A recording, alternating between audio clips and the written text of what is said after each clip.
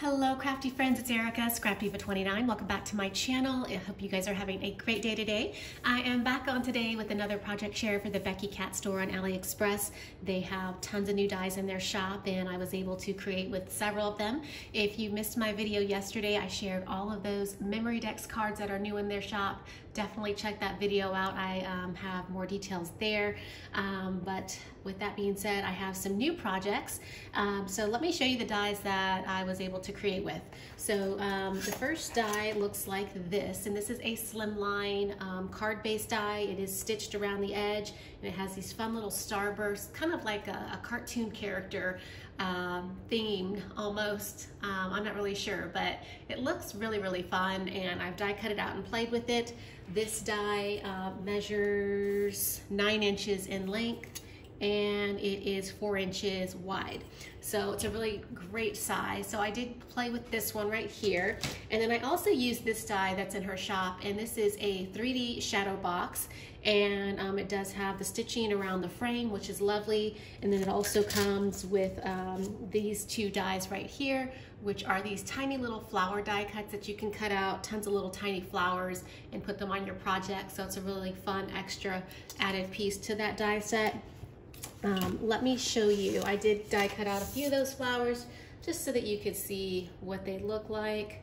They look like that. Super, super cute. And I love the fact that it cuts out multiple of the same one so you can go back in and um, you know, have plenty to work with. All right, so let me show you the project that I created using these two dies right here. Um, I did go with a 3D Halloween shadow box and um, I did layer it with the star card base. And then I went back in with the uh, shaker uh, bottles and just the little Halloween bottles that I had made the other day and I just layered them inside the shadow box and I did do um, some die cut spider webs on the corners of my uh, shadow box. And as you can see the shaker it still moves around inside. And I'm sorry for that glare. Um, but I really really love this little 3D shadow box. I think it came out really really cute. All I would need to do is create a little stand and this would be ready to gift. It'd be a really fun um, item to gift to somebody for Halloween. And they can just stick it up um, like and have it as a decoration in their home. Um, so I'm really loving that one right there. And then the next one that I want to share is the purse die that's in her shop. So let me just move that out of the way. So she has this die right here, and this is the extra large purse die. It does come with lots of different pieces. Um, it comes with the base which creates the actual purse and then you, it also comes with layering pieces which you can purchase separately from the purse purse die. Um, if you get this, you're probably gonna want to get the layering pieces because it just makes it so much easier.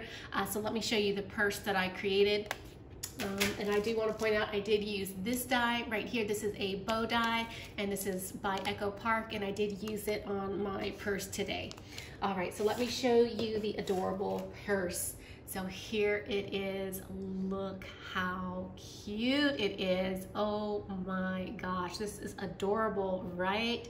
Um, for the shoulder strap, I actually use this really pretty um, sequent um, ribbon that I found at Hobby Lobby. And I actually found it on clearance during one of those clearance events and I was able to use it on this purse, which I absolutely love. And then the die actually comes with um, this little piece right here, these two little pieces to hold down the handle. Um, it does come with. Now this handle right here is actually from the Lena Craft Store um, and it just worked out really lovely with this purse. So I went ahead and used it. Um, so that's how I did my handle on this purse. On the front, I used that beautiful bow, which is this extra large Echo Park bow. I've had in my stash for a while. Um, and then I layered it with all the layering pieces um, right here, these cute little um, dainty scalloped edge that comes with the die set.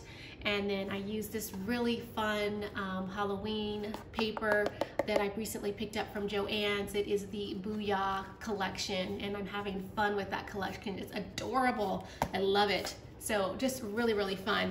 So um, that is the outside and then I did a Velcro closure.